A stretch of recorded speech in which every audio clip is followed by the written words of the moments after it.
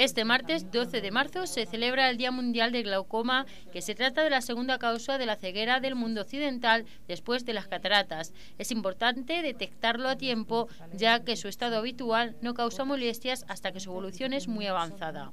El glaucoma es la segunda causa de la ceguera del mundo occidental después de las cataratas y se conoce como la ceguera silenciosa. Recibe este nombre debido a que su estado habitual no causa molestias hasta que su evolución es muy avanzada y sus efectos se hacen evidentes para el paciente. Por ello es tan importante detectarlo a tiempo. Deben hacer para, la detección del, glaucoma es la toma de la presión intraocular, aunque no es eh, definitivo la toma de esta presión intraocular, eh, también examinar el fondo de ojo, el nervio óptico y también hacer un campo visual. Por ello es tan importante la, prevención, porque se puede descartar gran parte de los glaucomas. Se habla de glaucoma cuando se constata que el nervio óptico está afectado. en el ojo hay unos líquidos, sobre todo uno que nutre el, ojo, que es el humor acuoso.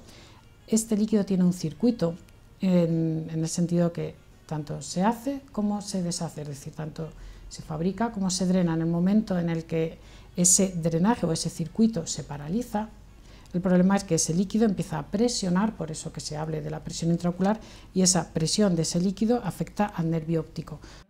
Dado que la mayoría de los pacientes afectados de glaucoma no suelen tener síntomas hasta entrar en fases avanzadas de la enfermedad y teniendo en cuenta la irreversibilidad de los daños entonces producidos, es de vital importancia de diagnosticar la enfermedad en su fase más incipiente.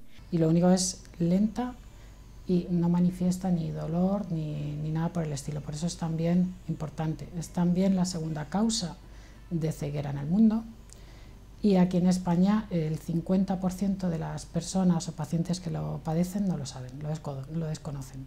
Finalmente, resaltar que los tratamientos que hay para esta enfermedad son generalmente mediante colirios, también con láser o quirúrgico.